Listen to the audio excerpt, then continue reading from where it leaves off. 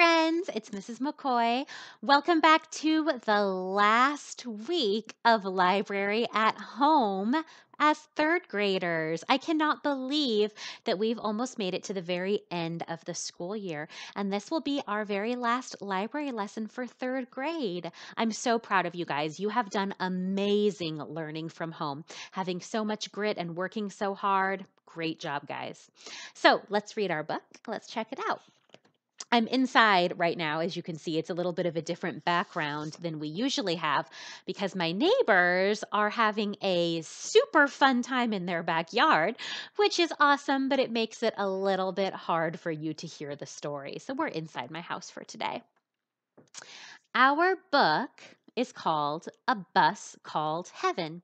And this is written and illustrated by Bob Graham, who is a cartoonist. You're going to notice kind of a cartoony quality to the illustrations. And he's from Australia. So it's called A Bus Called Heaven. Let's read it and see what happens.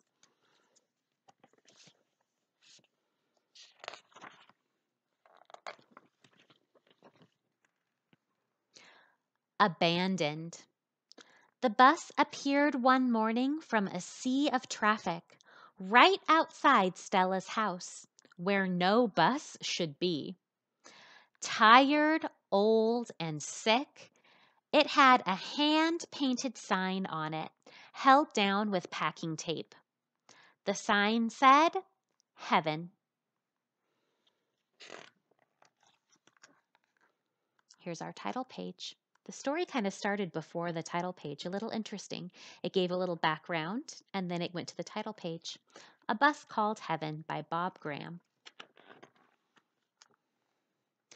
The bus brought change to Stella Street. Traffic slowed where no traffic had slowed before. People stopped and talked together. Just a little, but they talked. Stella changed too. She took her thumb from her mouth, where it usually lived, and said, Mommy, that old bus is as sad as a whale on a beach. Then she pushed open the door and climbed on board. Stella, the color of moonlight, stood among the bottles, cans, and trash. She was so pale you could almost see through her. It could be ours, she whispered. Whose?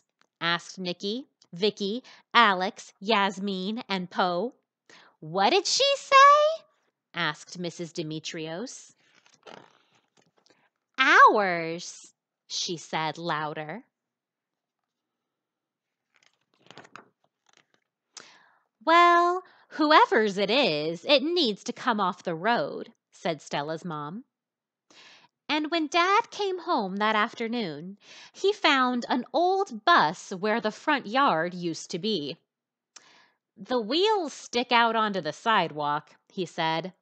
There are sure to be regulations. Well, it's staying here, said Stella. That's my regulation. Next morning, Stella looked out her front window. People were sitting on the wall where no one had sat before. Under the bus were Esther, Rajit, Chelsea, and Charles. Mommy, said Stella, I'm going out. And she joined them. That day, the bus settled in. Weeds nudged up around the tires. Snails made silver trails, and a pair of sparrows nested in the old engine. While the children played, the grown ups mopped and scrubbed and polished.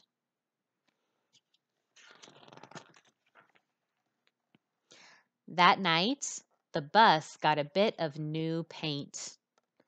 Uh oh, those guys have spray cans. They're painting on the bus. They're not supposed to. Hello, boys, said Mom. I've got an idea. Come back tomorrow and you can paint the whole bus. Make it sparkle. The next morning, Stella drew a picture for the rats to copy. Those boys were calling themselves the rats. But there they are.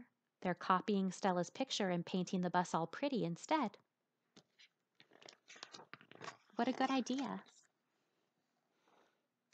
People came with donations. Poppy brought her goldfish, Eric. Luke gave a set of super comics. Stella carried in her table soccer with the missing goalie. Mrs. Stavros brought a bus cake. Look, her cake is shaped like a bus. And Lucy lent her dog, Bear, for anyone who needed to just sit and pat something.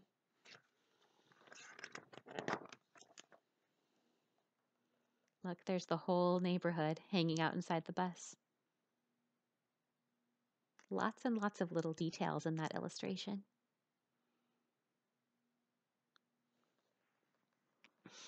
Life returns to the old bus. Stella's fingers fluttered and her soccer players spun. Babies crawled. People laughed. Kids fought. Granddads scratched dogs. Meetings were planned. Couples met. And the Fingles showed their vacation pictures. There's some people showing their vacation pictures, and it looks like everyone else is super bored. One Saturday morning, just outside Stella's house, there was music and dancing. There were picnics and laughter. When a tow truck arrived. Hmm, uh oh. It's against regulations, said the driver. This bus is causing an obstruction. He means it sticks out, Stella's dad whispered. The bus has to go, said the driver. As the front wheels left the ground, snails dropped from under the bus, and a twittering came from the old engine.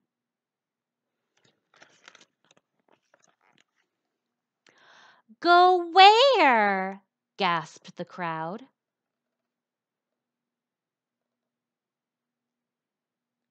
Got towed to the tow yard, the wrecker, where they take old junk cars.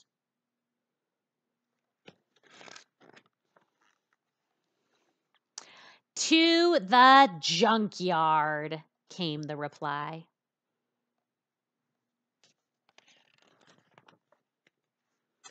The crowd pleaded for their bus, but the junkyard boss came out to join the driver and shook his head.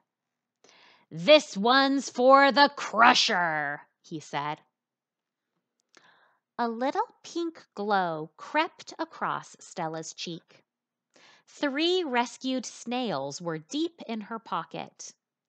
Excuse me, she said. Shall we play table soccer? You can have the only goalie, but if I win, we'll keep the bus. And why? asked the junkyard boss. Tell me why should I play you for the bus? Because, replied Stella, there are sparrows nesting in the engine. The game began. Handles spun. The ball smacked end to end. Then, goal! Stella scored. She followed that with nine more and won. The boss put out his hand. Joe, he said. Stella, said Stella. They shook hands.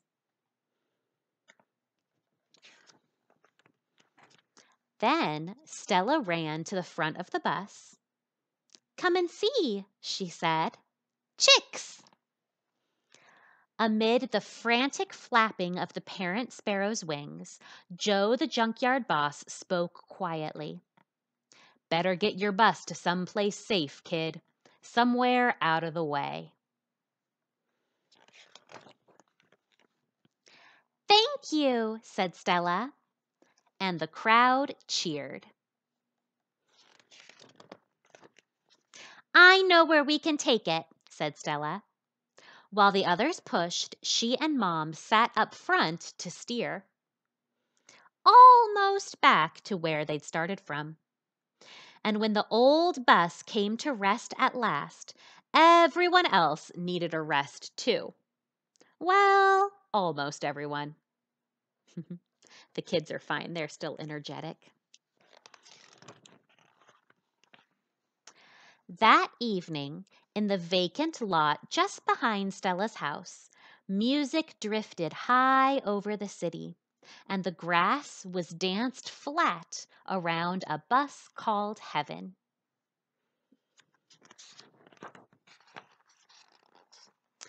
As a full moon rose, three snails slid safely back under the tires.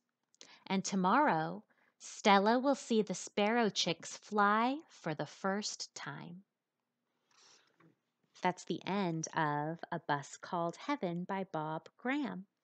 I really liked that story how that one unusual thing, the old bus getting abandoned there on the sidewalk, brought the entire neighborhood together.